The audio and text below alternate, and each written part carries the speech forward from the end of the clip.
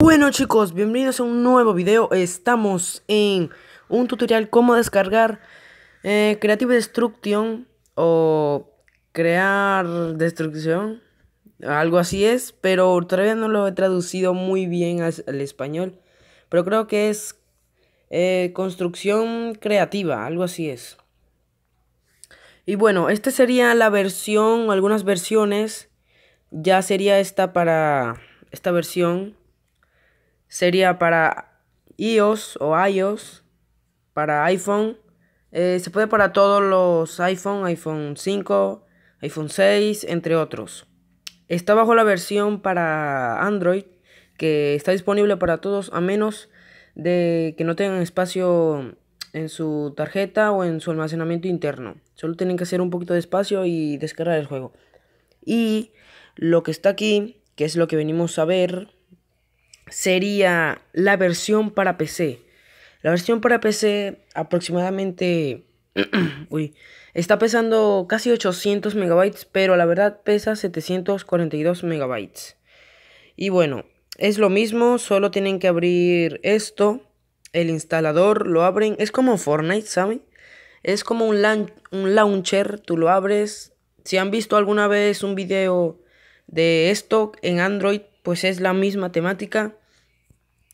Solo que pues en Android, digo, solo que pues en PC y es diferente un poquito cuanto a los controles, pero ya eso tú lo vas a hacer en configuración, los controles y cambias, cambias todo lo que tú quieras. Y bueno chicos, em, también les digo que está disponible para Linux, está disponible entre medias porque tiene un pequeño error pero bueno, eso ya se verá un poquito más adelante a ver si sirve mejor. Pero bueno, esto sería todo. Aquí em, sacan actualizaciones mensuales, si no me equivoco. Está esta de Soccer Royale. Que ya yo probé este, esta modalidad de juego. Si ustedes se descargan el juego y lo prueban, pues bastante bien, ¿no?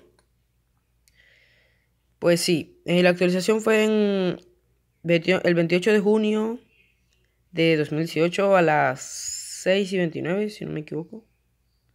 Algo así, creo que es eso. Y bueno, esto serían todas las actualizaciones, features. Eh, este sería ya el mapa. Eh, no se parece nada a Fortnite, así que creo que está... Bueno, el mapa no se parece mucho.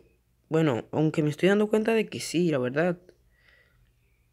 Se parece bastante, ¿eh? Es un juego que se parece mucho a Fortnite y espero que les guste. Y también este juego, los mínimos requisitos son 2 GB de RAM, eh, tarjeta gráfica 200, si no me equivoco, 256 megabytes. O sea, esto, esto es como el Minecraft, chicos. A menos si tiene una PC malita, solo tiene que cambiar los gráficos y así todos los gráficos bajo al, al lo bajo, lo más bajo que se pueda en el juego. Y espero que les corra bien. La verdad, esto es como un tipo de Minecraft y un tipo de Fortnite Battle Royale. Claro, es igual a Fortnite. Y le corren todas las PCs, chicos. Bueno, de 2 GB de RAM para arriba. Y una tarjeta normal. Una tarjeta baja. Una, una tarjeta de gráfica malita. Corre el juego normalmente. Y bueno chicos, tendrán el link de descarga bajo en la descripción. Y bueno, espero que les guste mucho este video, esta explicación. Espero que de verdad disfruten el juego. Y bueno, hasta la próxima. Chao, chao.